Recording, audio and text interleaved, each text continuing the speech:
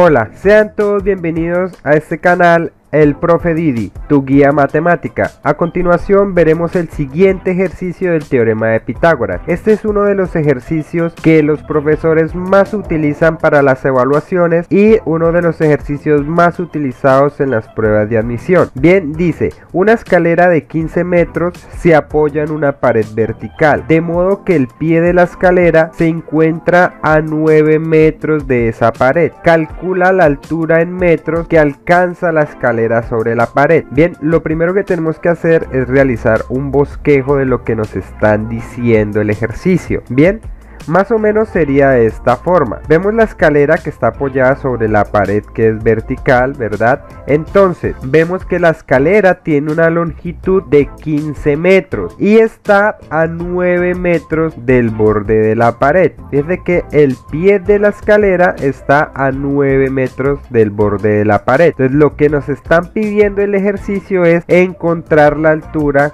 que alcanza la escalera. Si observamos acá, vemos que se está formando un triángulo rectángulo la escalera con la pared, ¿cierto? Entonces, nosotros podemos realizar el bosquejo este triángulo que está acá, ¿sí? Entonces, lo vamos a hacer por acá por un ladito.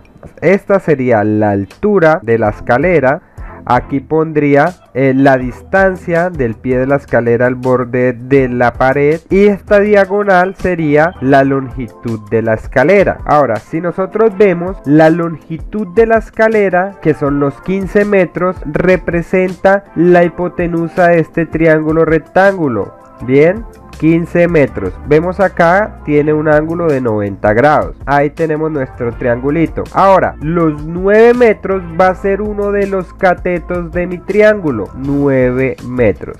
Bien, hay que hallar la altura, que en este caso la llaman altura A, ¿cierto? Entonces hay que hallar A. Entonces a este lado del triángulo yo lo voy a llamar B y a la hipotenusa la voy a llamar C, ¿vale? Bien, algunos ponen la hipotenusa como H. Yo en este caso lo voy a poner como C.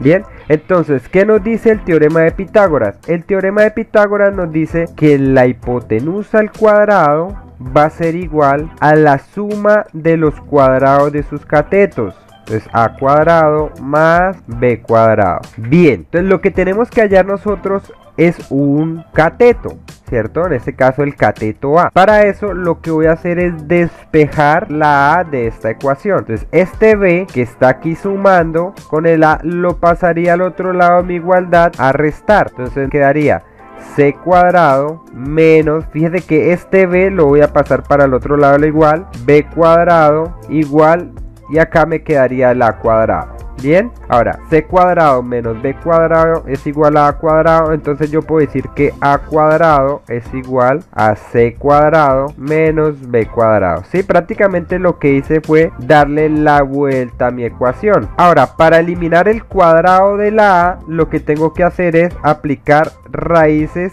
en ambos lados de mi igualdad. Entonces me queda a cuadrado va a ser igual a raíz de c cuadrado menos b cuadrado. Recordemos la siguiente propiedad.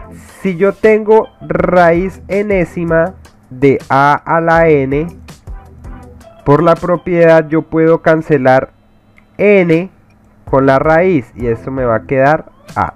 Fíjese que si el índice radical es igual al exponente, podemos cancelarlo si me va a dar A. En este caso la basecita de, esta potencia. Bien, entonces aquí la raíz la vamos a poder cancelar con este cuadrado. Entonces vamos a cancelar aquí. Y nos queda A igual a la raíz cuadrada de C cuadrado menos B cuadrado. Listo. Yo ya sé cuánto vale C Cierto que en este caso son 15 metros y sé cuánto vale B que son 9 metros. Entonces lo único que voy a hacer es evaluar estos valores en esta formulita que ya tengo acá. Entonces yo puedo decir que A es igual a la raíz cuadrada. ¿Cuánto vale C? 15 metros. ¿Vale? Vamos a dejarlo sin las unidades. A lo último se las ponemos. 15. Bien. Al cuadrado menos por el menos de la fórmula. B cuadrado, ¿cuánto vale B? 9 metros. Ah, ok, entonces ponemos 9 al cuadrado. Bien, Así que A va a ser igual 15 al cuadrado. Le vamos a poner 15 al cuadrado es igual a 225. Entonces tenemos raíz de 225 menos 9 al cuadrado. ¿Cuánto es? Pues 9 al cuadrado recordemos que es 9 por 9 y eso nos da 81. Si realizamos esta resta, 225 menos 81 da igual a 144. Así que me queda raíz de 144. Y la raíz de 144 nos da 12.